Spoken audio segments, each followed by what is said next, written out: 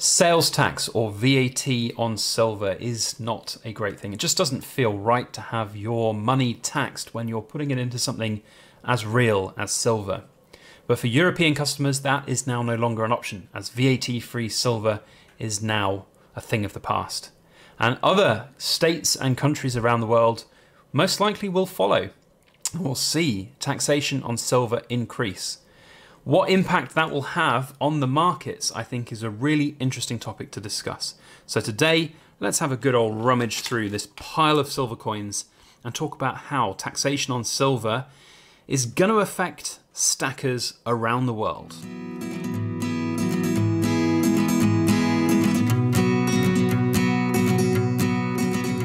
Everybody, Backyard Bullion here, and a warm welcome to you all joining me for this week's edition of In Focus Friday, the show where we take a good close look at cool things made of silver or gold. We've got a big old box of cool silver things here. It's also a memory box. A lot of what we've got in here has been featured on the channel, but it's also got one other thing in common, and that is that it's all sales tax free, VAT free silver.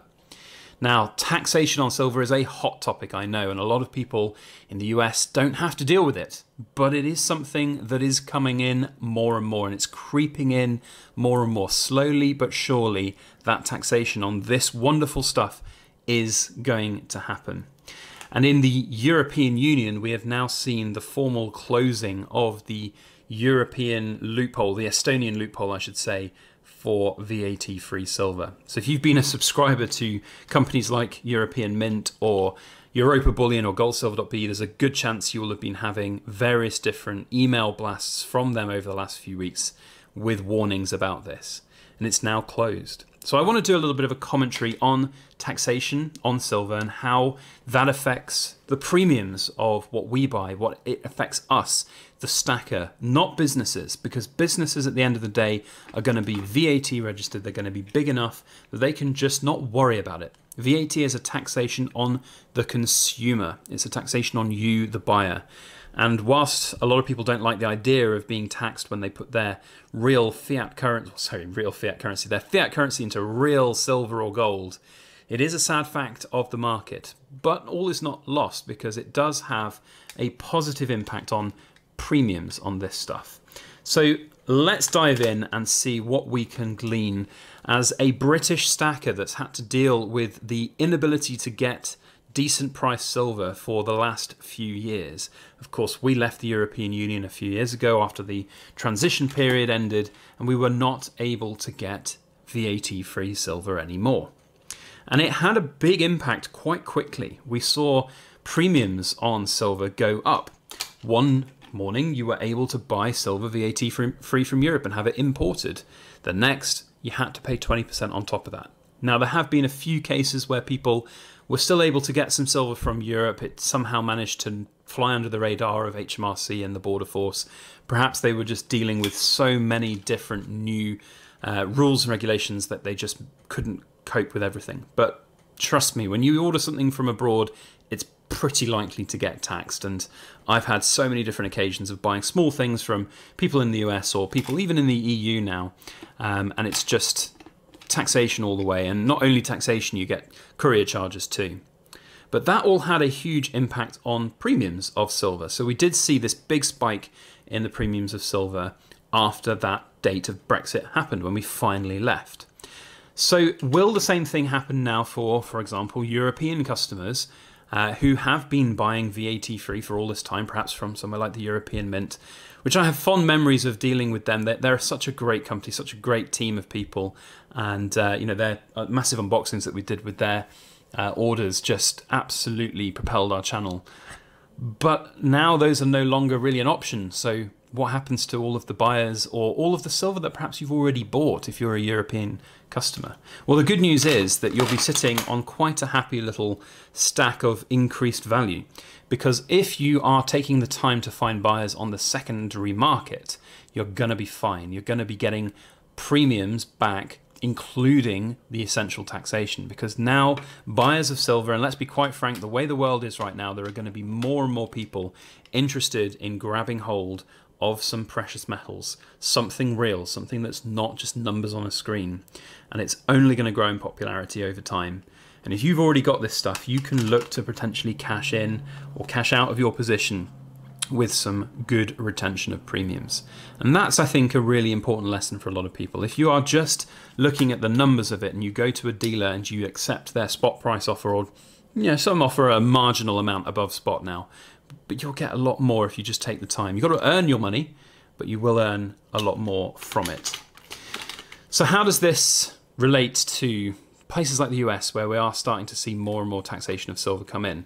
Well, the sad fact of the matter is it's partly what's um, uh, basically is partly what's contributing that's the word i was looking for contributing to the increase and the sustained increase of premium silver uh, in the us and around the world as well now for us in the uk it's also going to compound i think the you know amount of silver premium that we have to pay simply because there are now no longer these little loopholes, perhaps, that people could fly over to Estonia and buy their VAT free silver and bring it back and then sell it and undercut the market.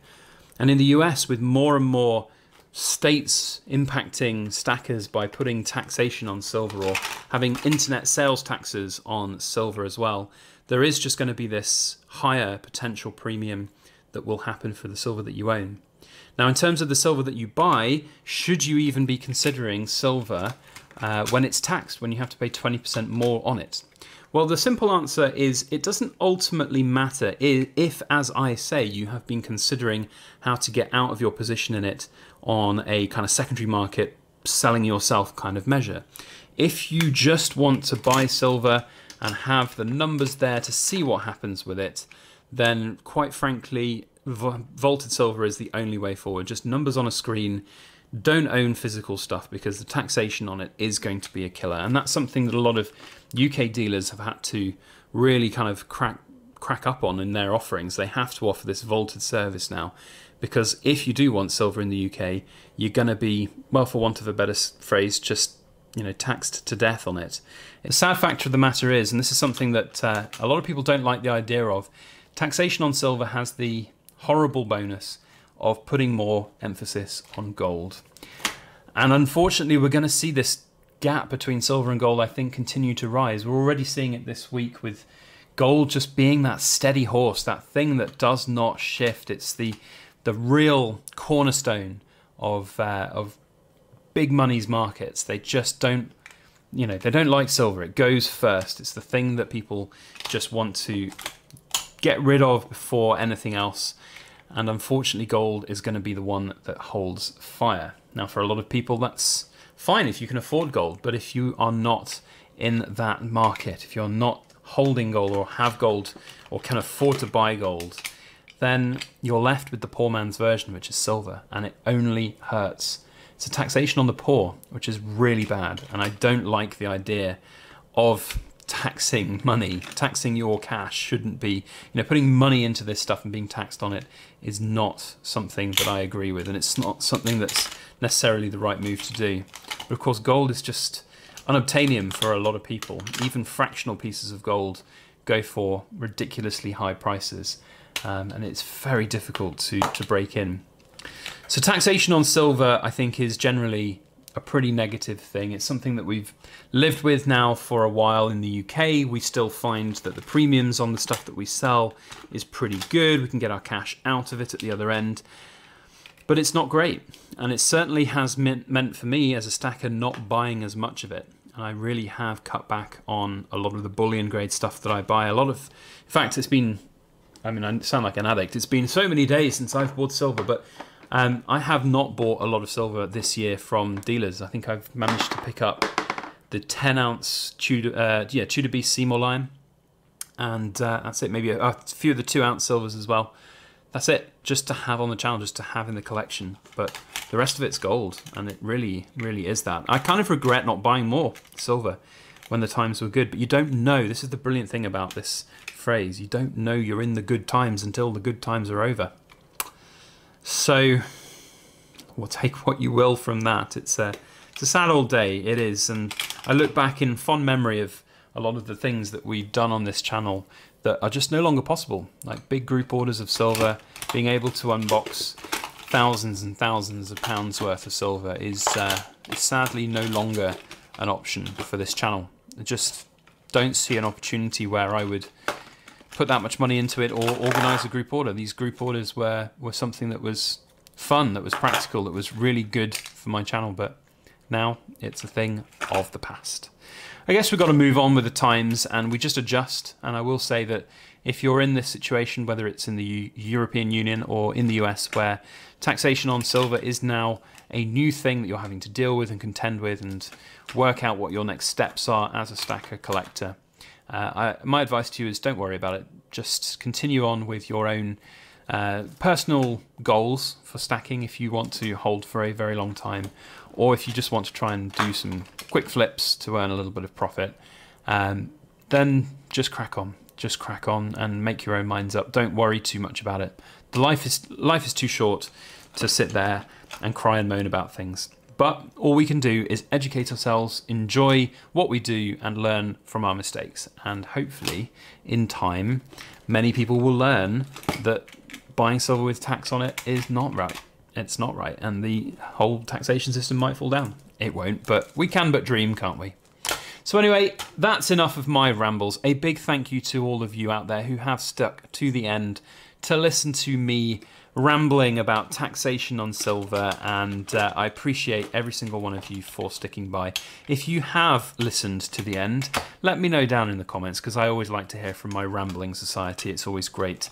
And uh, thank you. We're closing in on the 40k, we're nearly there.